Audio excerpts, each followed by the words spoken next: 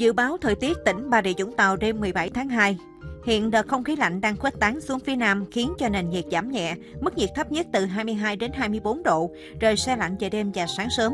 Tuy nhiên, ban ngày, thời tiết hoàn toàn đối lập, cường độ nắng mạnh, một số nơi có thể xuất hiện cảm giác oi bức vào thời điểm trưa chiều.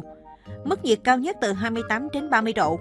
Ngoài ra, theo các cơ quan khí tượng cảnh báo, thời điểm từ 11 đến 13 giờ, tia cực tím ở mức cao có thể gây nguy hại cho da.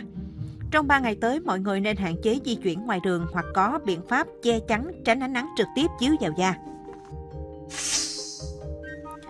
Khu vực thành phố Vũng Tàu mây thay đổi, đêm nay trời không mưa, ngày mai trời nắng, gió đông cấp 2, cấp 3, khu vực ven biển cấp 3, cấp 4, nhiệt độ thấp nhất từ 22 đến 24 độ, nhiệt độ cao nhất từ 28 đến 30 độ, độ ẩm tương đối 74 đến 79%.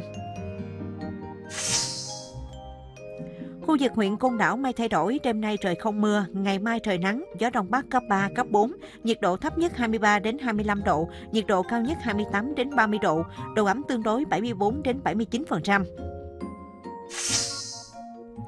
Do ảnh hưởng của đợt không khí lạnh tăng cường nên vùng biển Bà Rịa Vũng Tàu, Côn Đảo có mưa và dông vài nơi, tầm nhìn xa thông thoáng trên 10 km. Trên biển gió đông bắc cấp 6, giật cấp 7, cấp 8, biển động. Sóng biển cao từ 3 đến 4 mét. Cảnh báo cấp độ rủi ro thiên tai do gió mạnh trên biển, cấp 1. Tại Vũng Tàu ngày 18 tháng 2 năm 2021, mực nước cao nhất 365 cm xuất hiện lúc 18 giờ 30 phút, thấp nhất 190 cm xuất hiện lúc 11 giờ 30 phút.